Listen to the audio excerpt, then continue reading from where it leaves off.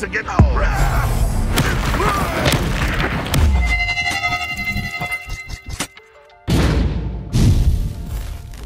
In this video, I'm going to show you two methods to enable FSR 3.1 frame generation on Hogwarts Legacy. Like and subscribe and let's dive in. First one is DLSS enabler and the other one is Uniscaler 10. Download link will be in the description. Let's start with the DLSS enabler. Go to Hogwarts Legacy exe file location. Then run the DLSS enabler. Go to your exe file location again and click on this address bar. Copy the path and paste it in as the installation location. Or you can browse the files and select the x64 folder where the game exe is located. Press next. In here, GTX and RTX users can choose first option and hit next. For AMD and Intel users, you need to select two more options. To show AMD and Intel users what to do after this, I will choose this option too. As you can see, it generated a lot of files here. AMD and Intel users need to run this disable NVIDIA signature check registry file. Then everyone needs to open this nvngx.ini file. We need to tweak some things. We need FSR 3.1 frame generation, so put FSR 31 in generator section. Hogwarts Legacy uses DX12, so in the upscaler section, change the DX12 upscaler to FSR 31 as well. Then you can run the game. Now you can see there is a DLSS option here. Generation is already enabled. So the random stutters and freezes happening because of my CPU. And the game is on a hard drive instead of a SSD. So if you have a decent CPU, you can expect more FPS and smoother gameplay.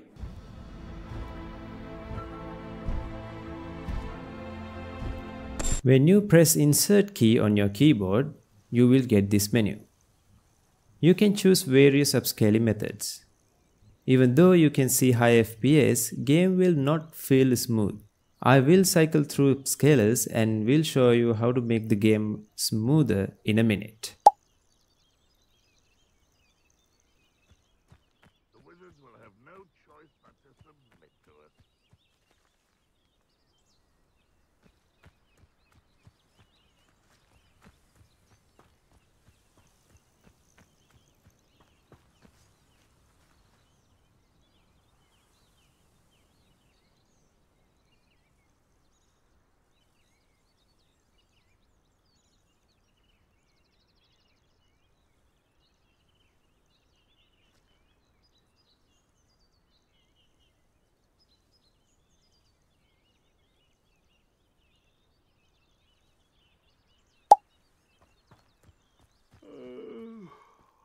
I could dead asleep on my feet, I could. Places! Shut the mouth! I shall avenge your death!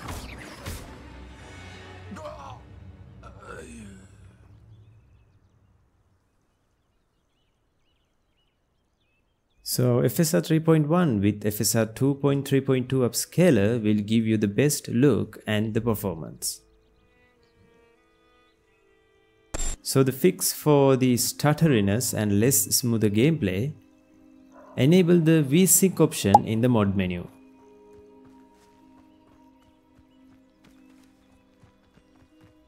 If you want to uninstall the mod, simply run the uninstaller in here. It will not remove everything. You will need to delete these files manually. Let's try Uniscaler now. Open Uniscaler folder and copy everything to the game exe location.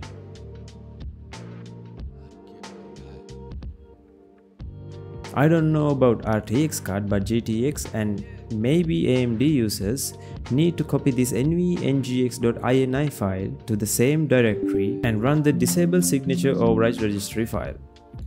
Downside of the Uniscaler is that you can't run the game with FSR 3.1 upscaling, but you can use the FSR 3.1 frame generation. I will show you what happens when I try to use FSR 3.1 upscaling.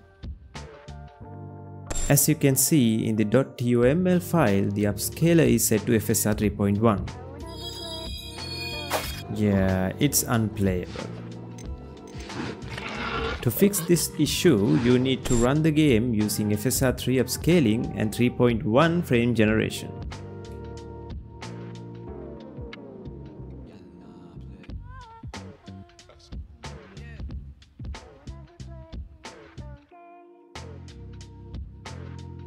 Oh, and another thing. If AMD users or some GTX users can see DLSS option in the settings, make sure to set these options to true.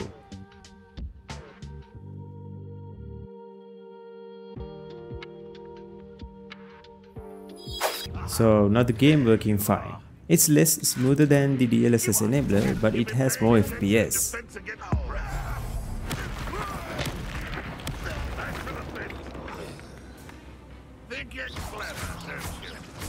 If you want to remove the mod, simply delete these files from the game folder.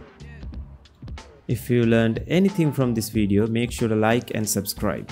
Help me to get 2k subs at the end of this year. Until next video, adios amigos.